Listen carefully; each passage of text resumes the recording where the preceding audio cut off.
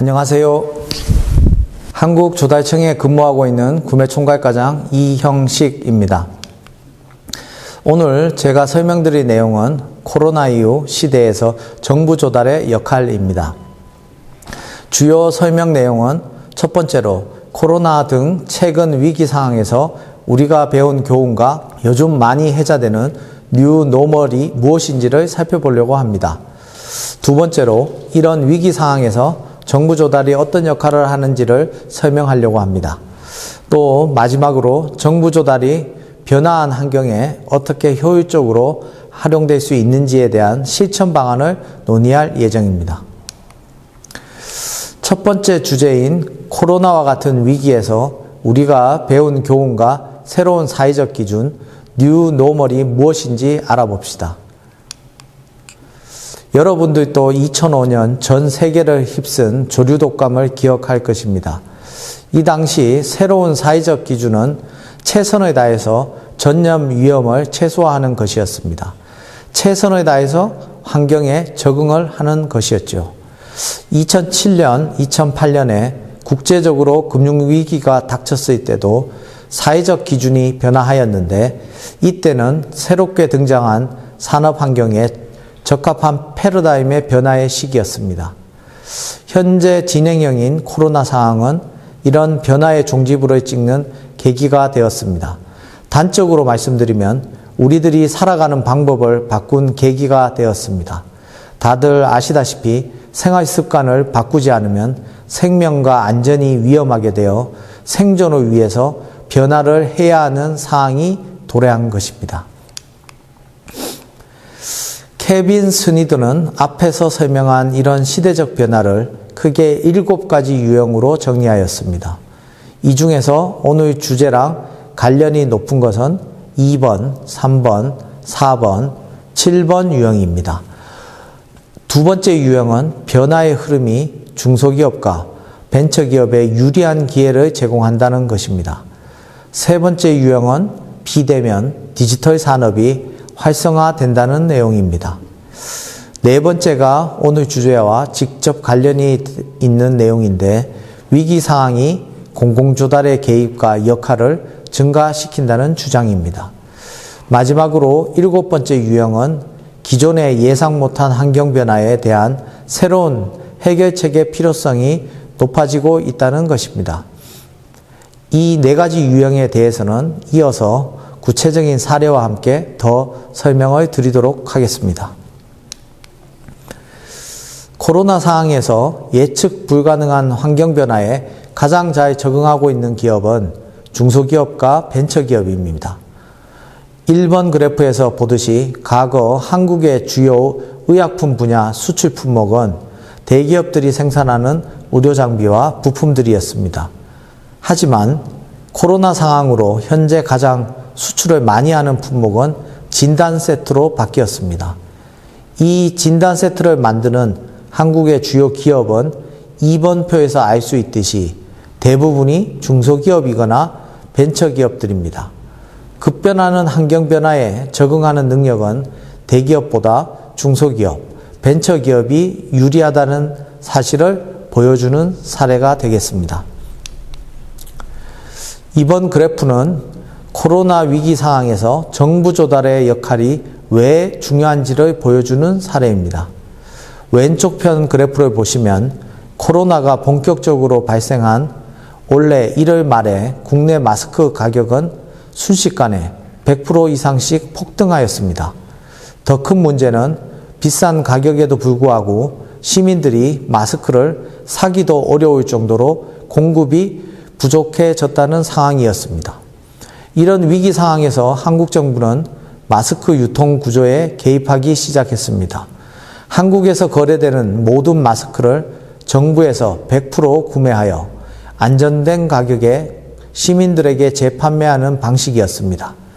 시장 구조를 왜곡한다는 우려도 있었지만 한국 정부는 국민의 생명보다 더 중요한 것은 없다는 원칙 하에 정부 조달의 영역을 대폭 확대한 것입니다. 오른쪽 표를 보시면 한국 정부에서 모든 마스크 유통을 통제한 3월 말부터는 마스크 가격이 점차 안정을 되찾아가고 있음을 잘 보여주고 있습니다. 정부에서 일괄 구매하여 시민들에게 재판매하는 공적 마스크는 3월부터 5월까지는 총 거래량의 80%를 통제하고 6월 이후부터는 60%, 50% 수준으로 점차 그 수준을 낮추어 갔습니다. 현재에는 옛날처럼 완전히 정부 개입을 배제하고 온전한 시장 기능으로 작동시키고 있습니다. 마지막으로 소개할 교훈은 이런 위기 상황을 대응하는데 국가 간 협력 및 사회 안전망 구축이 절대적으로 중요하다는 사실입니다. 코로나 전파 정보, 방역 물자 등을 국가 간에 공유하는 것이 국제적으로 코로나가 확산되는 것을 막는데 중요한 역할을 했습니다.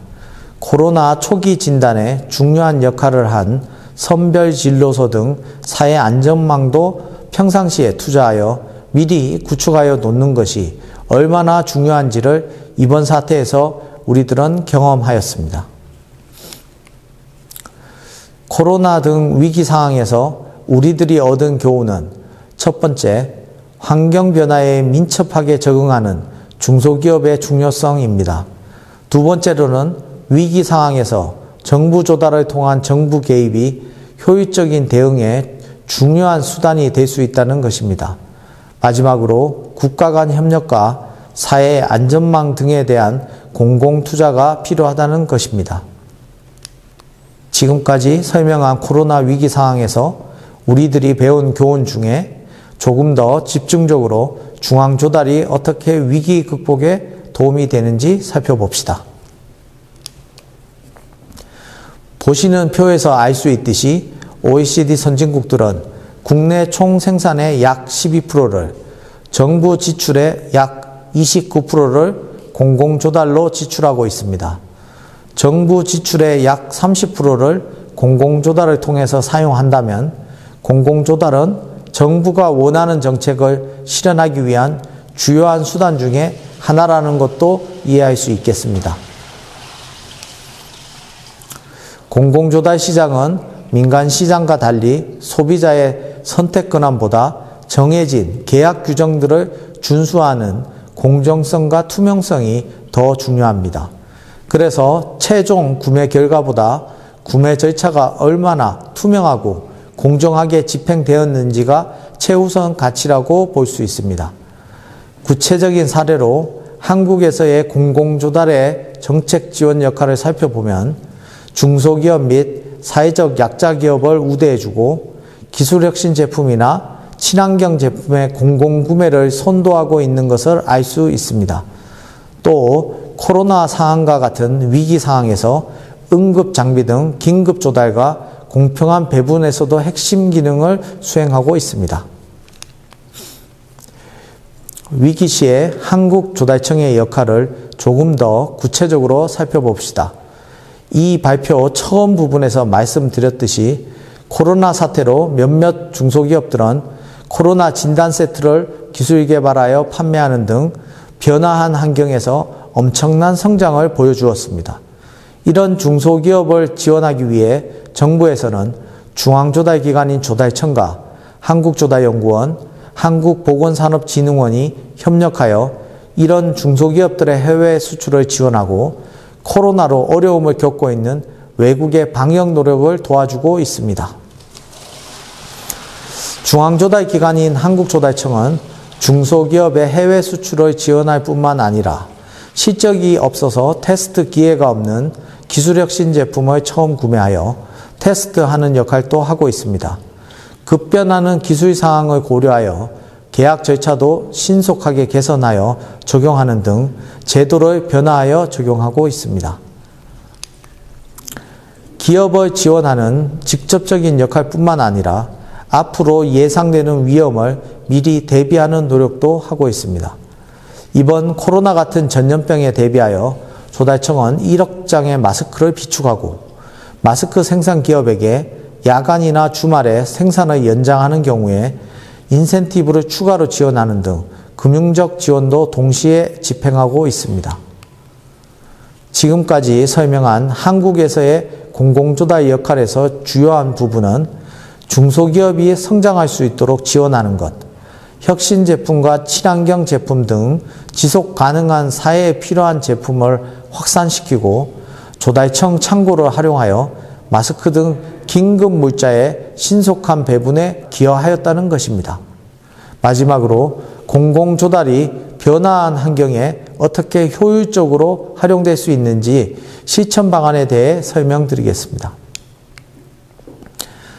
자세한 설명에 앞서서 지금까지 설명한 내용 중에 공공조달이 어떤 중요한 정책 지원 기능을 하고 있는지를 다시 한번 간단히 설명드리겠습니다.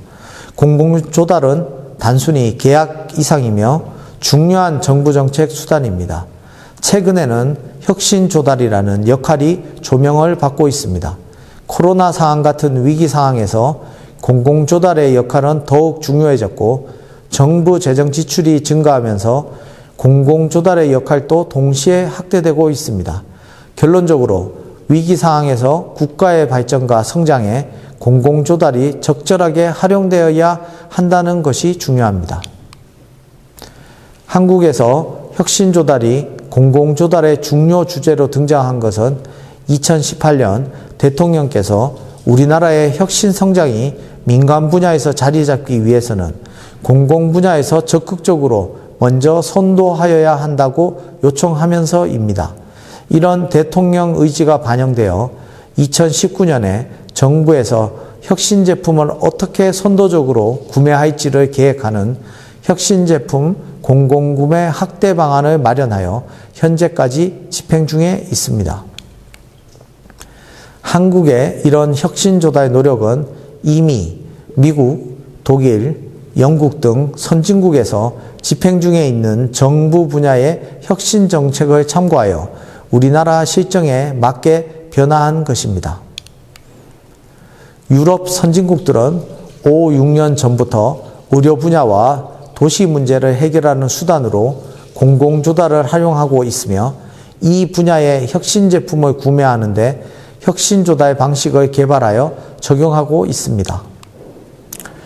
우리나라는 혁신 조달을 우리 환경에 맞게 변화하여 적용하고 있는데 혁신 장터라는 혁신 조달 플랫폼을 구축하여 모든 공공기관의 혁신 조달 수요와 관련 기업 기술 및 제품 현황을 통합적으로 여기서 제공해 주고 있습니다. 공공기관의 수요와 기업의 혁신 제품이 이 시스템에서 서로 연결이 되면 신속한 구매 절차를 통해 정부에서 구매하여 첫 번째 구매자로서 해당 제품을 테스트하고 있습니다. 이런 혁신 조달을 주도하고 있는 조달청을 간단히 소개하면 조달청은 한국 정부의 공공 조달을 대변하는 중앙 조달 기관입니다. 연간 한국 정부 구매의 약 30%를 직접 계약하고 있습니다. 중소기업 지원과 같은 공공 조달을 활용한 정부 정책 지원도 주요 역할로 수행하고 있으며 이번 코로나 사태에서는 공적 마스크 구매 및 배분 등을 긴급한 업무도 성공적으로 수행하였습니다. 대부분의 공공기관이 이용하는 통합 전자조달 시스템인 나라장터를 운영, 관리하고 있기도 합니다. 조달청을 포함해서 여러 부처가 범정부적으로 추진되고 있는 혁신조달은 혁신 제품을 구매하는 것이 곧 공공 서비스를 혁신하는 것이라는 정책 목표를 가지고 있습니다. 기존 시장에 출시되지 않은 혁신 제품을 정부에서 선도적으로 구매하여 테스트하는 것은 이 제품을 통해 기존에 해결하지 못했던 사회 문제를 해결하고 국민들에게 더 좋은 공공 서비스를 제공할 수 있기 때문입니다. 현재 초기 상태인 혁신 조달을 앞으로 더욱 활성화하기 위해 개선해야 할 부분도 많습니다. 주요 부분으로는 혁신 제품에 대한 정보와 전문 지식이 부족하다는 것입니다. 또 단기적인 비용 관점에서 접근하기보다 장기적인 효율성 관점에서 평가하는 노력이 필요합니다. 추진 중에 있는 주요 정책과 전략에 서로 연계가 되는 노력도 필요하겠습니다.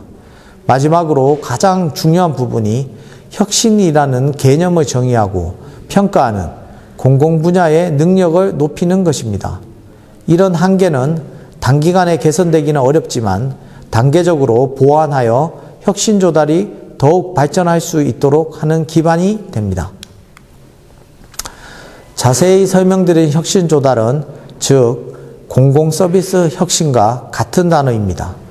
우리가 나아가야 할 올바른 방향이지만 현재 보완해야 할 부분도 분명하게 있는 만큼 지속적으로 관심을 가지고 발전시켜야 하겠습니다.